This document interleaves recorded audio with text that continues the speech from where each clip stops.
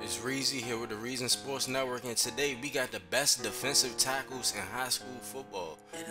No five stars in this class, but the top defensive tackle is Andrew Mitchell out of Trinity Christian Academy in Jacksonville, Florida. 6'4, 276, very quick hands. See him get that pressure right there. Next, we got Eddie McDaniel, nice spin move from St. Francis Academy. Look at this.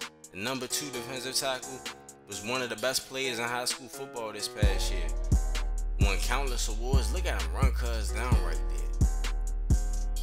One off the initial, ran him down, nice angle. Okay. He had a great year this year. Took his team to a national championship. Balled out.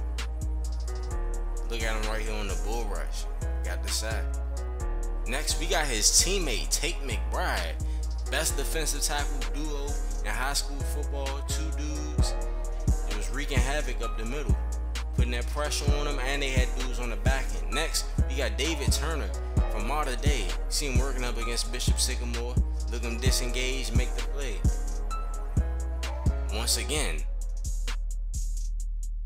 yeah, they just couldn't block him in this game. Jared Andrews from St. Ignatius, 6'1, 284, defensive tackle. Not the biggest, but very skilled. I want y'all to just pay attention to St. Ignatius. I'm gonna show y'all something at the end of the video. It's just special right there. But yeah, he's straight up dog out of Cleveland, Ohio. Next, we got Charles Bryant from Cedar Hill in Cedar Hill, Texas. 6'4, 290. You see him just put him on his back right there. Ugh. Look at this. Disengage, make the play in the run game. Very good run defender. Not a not the best pass rusher, but he's an elite run defender. Right here, this is a good pass rush. Derek Miller from Mission Viejo, next defensive tackle, 6'5, 264, out of Southern California. Mm, making plays. Y'all see the pursuit right here. Just look at this. Ooh, it was a play action. He thought the running back had the ball. See the quarterback still on the run. That's Bob Berry right there. See another spin move right there. Chasing them down. Look at the pursuit. Mm, make a play. Okay, young man. Next, we got Rob Jackson from Steel. 6'1, 300. Ball. Next, we got Craig Russell, 6'4, 273 from Miami Central in Miami, Florida. Look at this right here.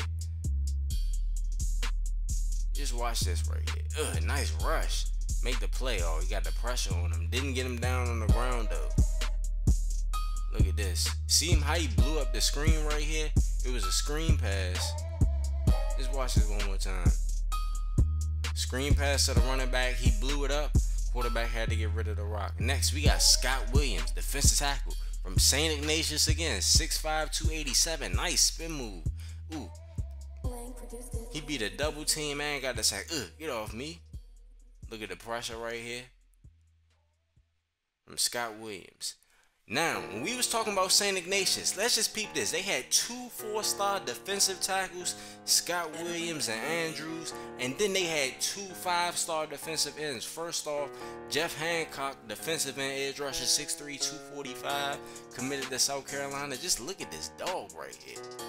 And Brandon Stegall, 6'3", 248, another five-star defensive end. So this is one of the best defensive lines in high school football history. And guess what? They got nothing to show for it. No state championship, no national championship, no nothing. But anyways, it's Reezy here with the Reezonn Sports Network. Make sure y'all like, comment, and subscribe.